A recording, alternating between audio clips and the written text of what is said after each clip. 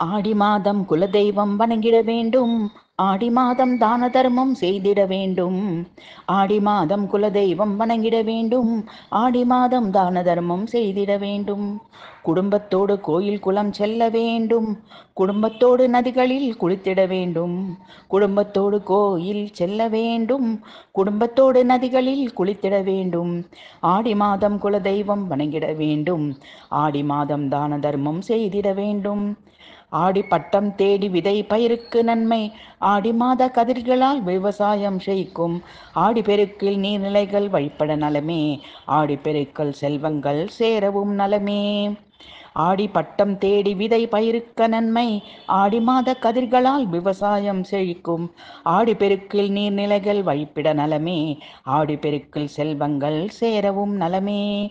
ஆடி மாதம் குலதெய்வம் வணங்கிட வேண்டும் ஆடி மாதம் தான தர்மம் செய்திட வேண்டும். குடும்பத்தோடு கோவில் குலம் செல்ல வேண்டும் குடும்பத்தோடு நதிகளில் குளித்திட வேண்டும்.